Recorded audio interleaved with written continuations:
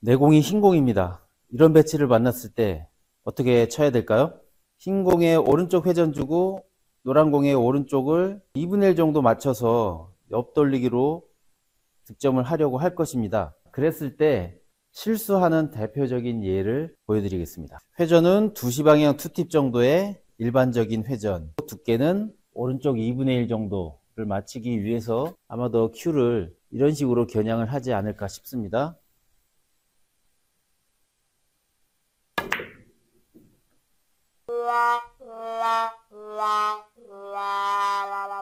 이렇게 실수하지 않으십니까? 아, 정말 그렇더라. 이렇게 실수하는 경우가 많았던 것 같다. 라고 하시는 분만 이 동영상을 끝까지 시청하시기 바라겠습니다. 네, 조금 전에 배치를 BPS를 이용해서 다시 놓겠습니다. 조금 전에 제가 실수한 것처럼 길게 실수했다 라고 한다면 아마도 스쿼트란 것을 모르는 분일 가능성이 매우 높습니다. 스쿼트가 무엇이냐? 공에 회전을 주지 않고 치면 반듯하게 가지만 진행 방향 쪽 회전을 주고 공을 치면 회전을 준 반대 방향으로 이렇게 가게 되어 있습니다. 이런 현상을 스쿼트라고 하는데 이런 현상이 일어난다라는 것을 모르고 치면 아까와 같은 실수를 반복하게 됩니다. 그래서 흰 공의 중심에서 이만큼 떨어진 회전을 주고 2분의 1을 겨냥할 때 이렇게 겨냥하는 것이 아니라 살짝 조금 더 바깥쪽을 겨냥해서 쳐야 비로소 내가 원하는 2분의 1 두께가 맞거든요. 그렇게 겨냥해서 한번 쳐보겠습니다.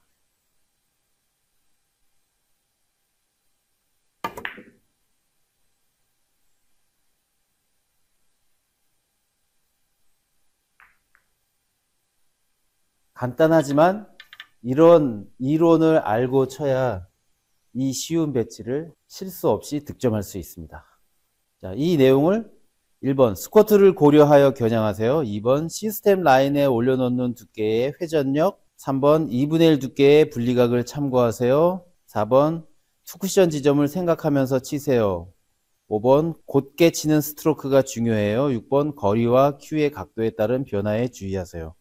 옆돌리기 특히 일목적구가 첫 번째 쿠션에서 가까이 있을 때 두껍게 또는 세게 치거나 너무 길게 밀어치면 공이 휘면서 진행하기 때문에 원하는 것으로 보내기 어려워져요. 그러므로 정확한 당점에 간결한 스트로크로 치는 것이 좋아요.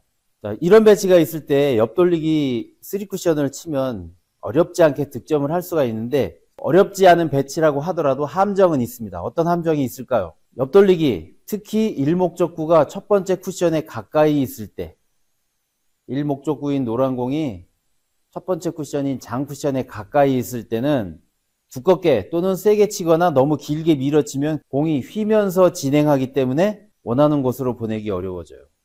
노란 공이 쿠션에 가까이 있죠? 이거를 두꺼우면서도 세게 쳐버리면 그리고 길게 쭉 밀어쳐버리면 공이 이렇게 휩니다. 여기서부터 여기 갈 때 이렇게 직선으로 가지 않고 이렇게 휘어 가거든요. 그래서 반드시 길게 실패하게 되어 있습니다. 이렇게 일목적구가 쿠션에 가까이 있을 경우에는 스트로크를 절제해서 쳐야 됩니다.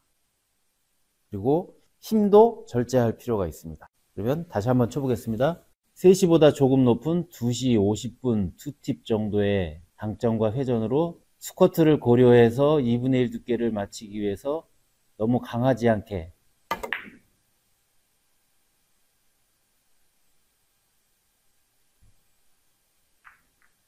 이렇게 쳐야 확실한 득점을 할 수가 있습니다. 그래서 정확한 당점에 간결한 스트로크로 치는 것이 좋습니다. 너무 길게 밀어치거나 너무 세게 치거나 하면 두께 실수할 확률도 높아지고 공이 변화하면서 내가 원하는 곳으로 잘 가지를 않습니다. 그리고 3쿠션을 치는 사람이라면 시스템을 모른다 하더라도 이 한 가지 궤적은 알아두는 게 좋습니다. 이쪽 코너에서 출발해서 한 10, 20, 30포인트, 세 번째 포인트를 향해서 일반적인 회전, 2시 방향 투팁 정도의 일반적인 회전으로 치면 여기를 향해서 들어가서 두 번째 포인트에 이 날 부분에 맞고 코너로 갑니다. 이 하나의 궤적 정도는 알고 있는 것이 여러모로 3쿠션을 칠 때 도움이 됩니다.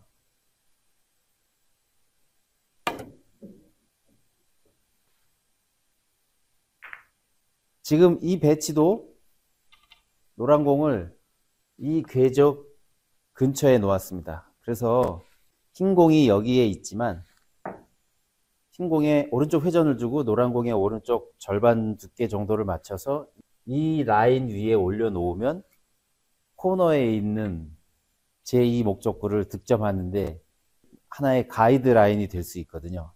코너에 있는 제2 목적구를 3쿠션으로 득점할 때 여러모로 도움이 됩니다. 그러니까 이 라인 정도는 시스템을 모르더라도 알아두는 게 좋습니다. 이 라인을 알아두면 빨간 공이 코너에 있지 않고 이렇게 있다.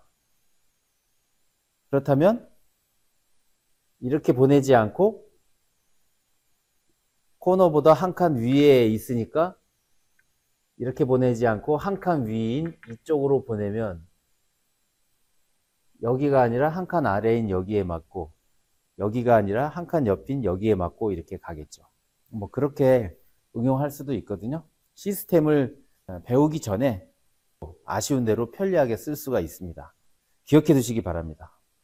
2번 시스템 라인에 올려놓는 두께와 회전력 이 궤적을 알려드렸는데 이 궤적 위에 올려놓는 두께와 회전력은 무엇이냐 흰공의 위치에서 바라봤을 때 이 라인으로 보내는 두께와 회전력은 중상단 two tip의 오른쪽 절반 두께 맞추면 될 것 같습니다.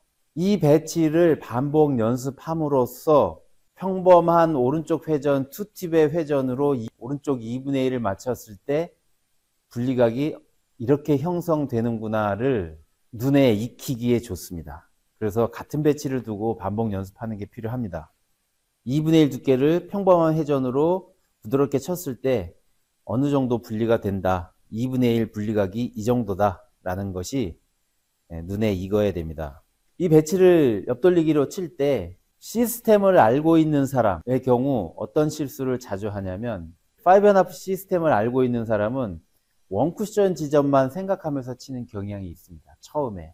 그런데 그렇게 하면 시스템을 모르고 치는 것보다는 확률이 높겠지만 생각보다 실수를 자주 하게 됩니다. 원쿠션 지점만 보고 치지 말고 투쿠션 지점 어디, 쓰리쿠션 지점 어디가 목표 지점이다 라는 것까지 함께 생각하면서 치는 습관을 들여야 3쿠션으로 좀 더 정확하게 득점을 할 수가 있습니다. 이 옆돌리기를 칠 때 스트로크도 곧게 쳐야 됩니다. 큐를 앞으로 내밀지 않으면 겨냥점을 어디에 겨냥해서 쳤다 하더라도 그때의 내 스트로크가 곧게 나가지 않는 스트로크라고 하면 겨냥의 의미가 없어집니다. 스트로크가 흔들렸기 때문에 두께를 맞추는 정확도를 높이고 싶다면 스트로크를 곧게 하는 습관을 기르는 게 좋습니다. 다시 한번 쳐보겠습니다.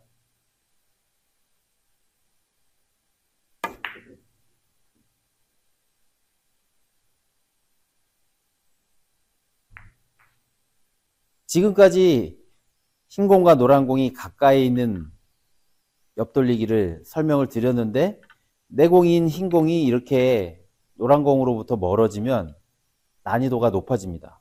그리고 더 멀어져서 쿠션 가까이 내공이 붙게 되면 이 배치는 이것과 이것은 완전히 다른 배치가 됩니다. 완전히 다른 해법으로 쳐야 됩니다. 왜 그러냐 하면 흰공이 여기에 있거나 여기에 있거나 즉 큐거리가 확보가 되어 있는 경우 하고 이렇게 쿠션에 붙음으로 해서 큐거리가 어려워졌고 그리고 신공의 중단 당점을 잘 치기 위해서 큐를 겨냥하면 큐의 뒷부분을 들게 되어 있거든요. 이렇게 큐의 각도가 달라지면 겨냥법도 달라지고 당점도 다른 선택을 해야 내가 원하는 두께를 맞출 수가 있게 됩니다. 그래서 전혀 다른 배치다 라고 생각하고 같은 배치라도 내공의 위치를 변화를 주면서 처음에는 연습하는 것이 좋습니다. 참고로 이 배치까지만 하더라도 칠만한 그리 어렵지 않은 옆돌리기지만 이 배치는 매우 어려운 옆돌리기입니다. 이 배치를 칠 때는 큐의 뒤가 들려 있기 때문에 squirt가 일어나지 않고 오히려 커브가 일어날 수 있습니다. 이 배치를 연습하고 난 다음에 내공의 위치를 이렇게 옮겨 놓고 같은 옆돌리기를 치면 어떤 실수를 많이 할까요? 제가 보여드리겠습니다.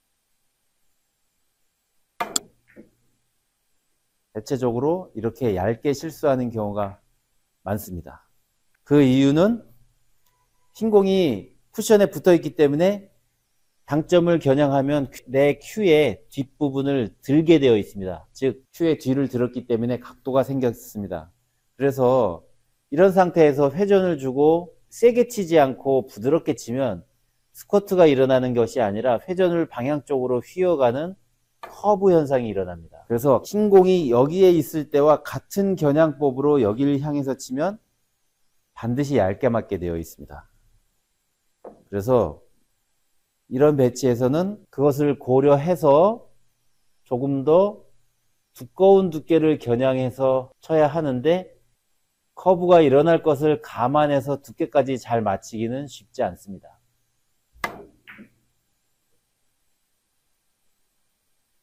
이렇게 실패하기 쉽다는 거죠. 그래서 이 배치는 지금까지 쳤던 옆돌리기와는 다르게 어려운 배치인 겁니다.